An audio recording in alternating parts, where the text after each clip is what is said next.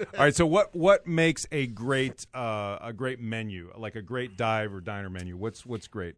You know, sometimes it's just like one or two items. I mean, I was checking out some joints in LA yesterday, and some of them only had one item, and so I'm trying to sell it to my producer. Like, it's got a lot of charisma.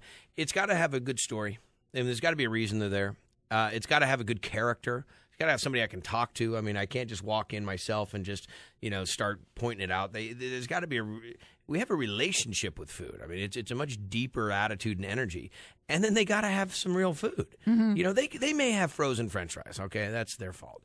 Um, but the reality of it is, is their key signature stuff has really got to be real deal. Um, we've been over 350 locations since the show's been on the air, and it, we're probably about nine months out. I mean, we're shooting now. We're shooting season nine right now, and we're only airing season seven. Wow. that, that's how far in advance we are. But um, and, and the criteria becomes tougher and tougher because my expectations, you know, and your expectations as viewers. But what I don't, I can't handle is I can't handle someone walking up to me and going, you know what, you did that place, and I went in there and it sucked. You know that that'll kill me. Have you ever gone into a place that was so bad it never made the air? You know what I'm saying? Like you shot an episode and it was it was like no. Oh yeah, You have, I've walked out in the middle.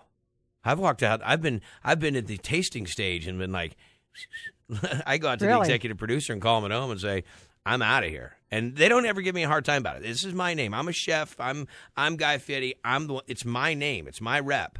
Uh, I'm in Grant's Food Network and it's the production company and so forth. But I'm not doing this. There's Right. no way I'm gonna I'm gonna sell out for. Uh, It's your to reputation, it's to your say- credibility, yeah. and sometimes we're wasting. I mean, it takes to shoot one six minute segment. There's three. There's three six minute segments, and then a little uh, tail uh, to the show. But uh, the six minute segment takes us about twenty two hours to film. 22 hours? Yeah.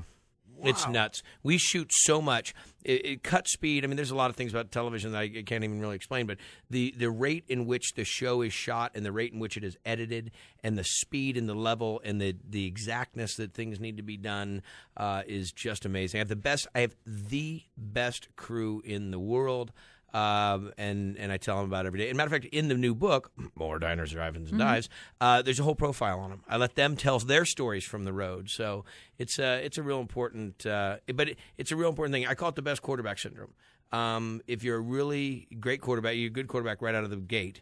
You you just get ground in the you know you get put into the ground too many times. You don't stay the best quarterback.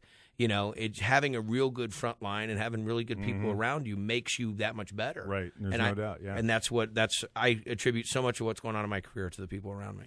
We went, my husband and I traveled to San Francisco in August, and we had one day we went up to Napa, and uh, I said, Wait, wait, wait, wait, wait. This better end up with I went to Johnny Garlic's. No. I went to thanks, guys. Jamie's Been in great being here. Sacramento. I'm sorry. we were just up He's there. for- leaving. He's going. Don't, don't Yeah. leave yet. Oh, she dropped the husband thing on me, and Yeah. she dropped In the, the same- and- yeah, yeah, and I went sa- to yeah, Napa. yeah. But we went, but we went over to because I'd seen in one of your episodes this oh. place in Sacramento. Oh, And so we drove all the way over there. My husband's like, "This sandwich better be damn good," and I'm like, "Come on, it looked the great. Let's go." fillet go." on the garlic toast. Yeah, yeah, yeah. Exactly. I eat this where they microphone. where they abs- they soak it in like tons of garlic and olive oil overnight. And this is a joint. It You was could a soak joint. it. Did You you- could soak had a it? shoe in Oh this. yeah, I ate it. Sure. Yeah. We waited for like 45 minutes for frickin' lunch and we got there when it opened. Yeah, no, the joint is so popular. I mean, it was popular before we shot it uh, by all the capital people. You can't. You drive by it. There's no. I, I've driven by this place for 15 years.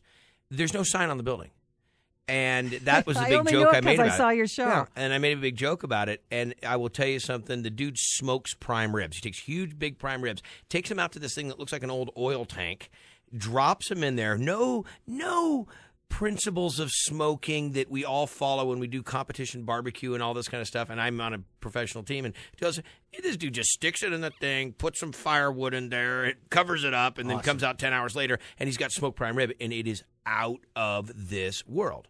But I can't believe you were in Nape, you were in Napa, I'm and you sorry. didn't come to my restaurants. We I we, we really didn't we were only there for like an afternoon. We drove up. You know what? We drove up in the morning. We did our little tour. We drove over for lunch in Sacramento and then headed back down. You were well. See, there's two parts of the wine country. There's Napa, which is kind of how, where it started, but really the true like the nuts and bolts of the wine country is over in this little area I live in called Sonoma County, and that's where you find all the artisans, small uh, family-owned wineries, not the big monsters that, that are going on in Napa. Which don't get me wrong, Napa has got it really, really going on. But over there in uh, Sonoma County, I have uh, three restaurants, two that are called Johnny Garlic's, and actually, and by the way, in Sacramento, not more than five miles from where you were at Jamie's. There's Tex Wasabi's. Uh, I didn't. I honestly, I, I honestly, I apologize Thanks because. bringing But I, that you know up. what? I'll hey, tell good you what, reason to come back. Though. I know, I'm going. I absolutely want to go back because I loved the area. I thought it was fabulous. Tex Wasabi's, by the way, is uh, is my brainchild. Like my tour is my brainchild. It's uh, Southern style barbecue and sushi. Oh, Yeah, you put those together. Yeah. Have, has, have any of the places you visited have they incorporated any of your ideas into their menus?